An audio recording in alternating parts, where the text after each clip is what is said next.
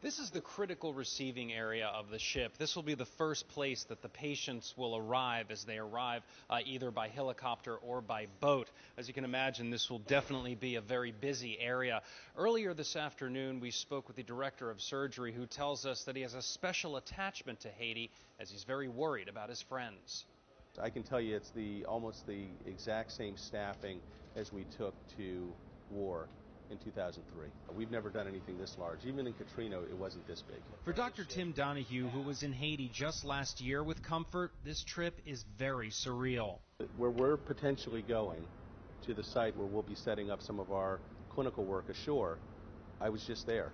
Dr. Donahue spoke of his friends as he gave us a tour of what will soon be the busiest parts of the ship. Um, it's going to be more orthopedic injuries. It's going to be much more in the way of pediatric uh, patients. Uh, we're going to see patients with chronic medical illnesses that uh, were injured.